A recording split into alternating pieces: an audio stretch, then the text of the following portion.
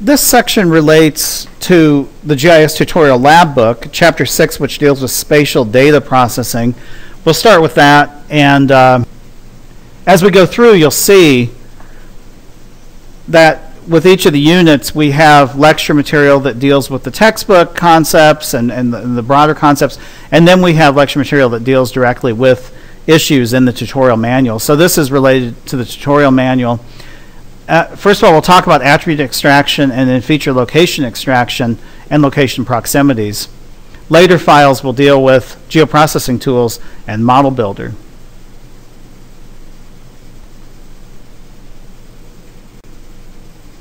So the concept of attribute query extraction, for example, you have uh, tracks, these are census tracks for an entire state, but you want tracks for one county only. And this is what you would do by setting up a definition query and then go through and, uh, and uh, make a selection and then use that selection to create a layer from your selected features. So, for example, you select your tracks by county. If you only want the ones in Cook County, that's what you would do. You can select by attributes, or you could do a definition query, and then as a result, come, come up with a selection process that relates to, in this case, the county. And you can see that Cook County is 031 in terms of its code. So county equals 031. That creates uh, a selection, and then you can export that new feature to a new feature class or a shapefile.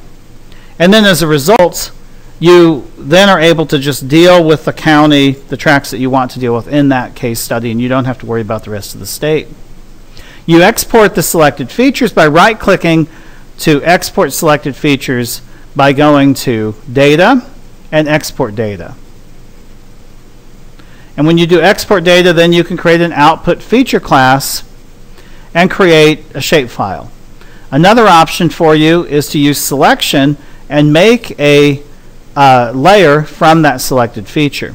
But keep in mind that does not create an exported data set that stands on its own. And then you would add your new layer that shows your Cook County census tracts. And here's what it would look like. Now what you're seeing here is the Cook County tracks sitting on top of the Illinois tracks. Another concept is feature location extraction. If we want to select by location, this is a very powerful function that's unique to GIS. You can identify spatial relationships between layers by using the select by location function. You can then find features that are within another layer. So, for example, you have the Cook County Census tracts, but you only want the city of Chicago. You can't use select by attributes because there's no attribute for Chicago itself. So if you use the municipality layer, the city of Chicago is a municipality within Cook County. Select Chicago from the municipalities layer. And that's what your selection would look like. Keep in mind, municipalities refer to cities, townships, suburbs, various uh, local government um, municipal boundaries that would then make up the county.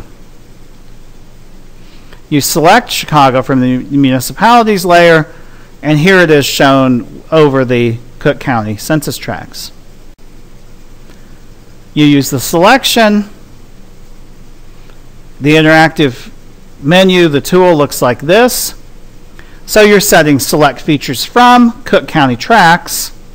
The source layer is Cook County municipalities because what's important there is you're going to select out Chicago.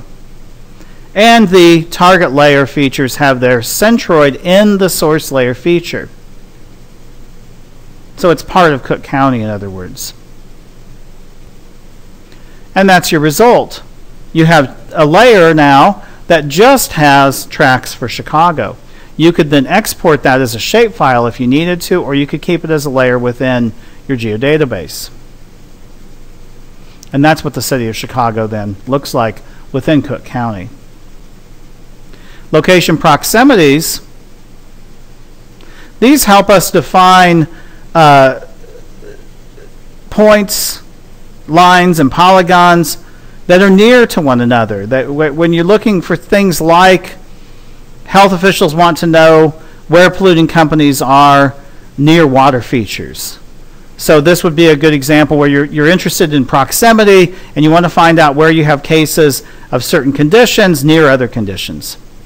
So you use select by location and you're selecting features from the target layer would be polluting companies, the source layer would be lakes and rivers, and now the, the important factor here is the spatial selection method is the target layer's features are within a distance of the source layer feature. They're not necessarily contained, they're within a distance, in this case, half a mile. You have to define that based on the, the results that you're looking for, based on the kind of study you're doing. It needs to make sense, in other words. It's not always going to be half a mile. It has to make sense at that level of scale and for that data. And you could look for points near points. School officials want to know what schools are near polluting companies. So here you are. You select by location. You're selecting features from the schools. And the source layer is polluting companies. And you want to then create a target layer of features within a distance of the source layer feature. So in this case, you're going point to point. A distance of one mile in this case.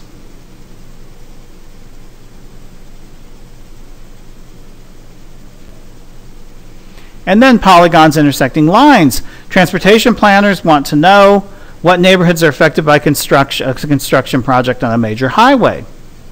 So you select features from neighborhoods. The source layer is major streets, and the target layer features intersect the source layer feature.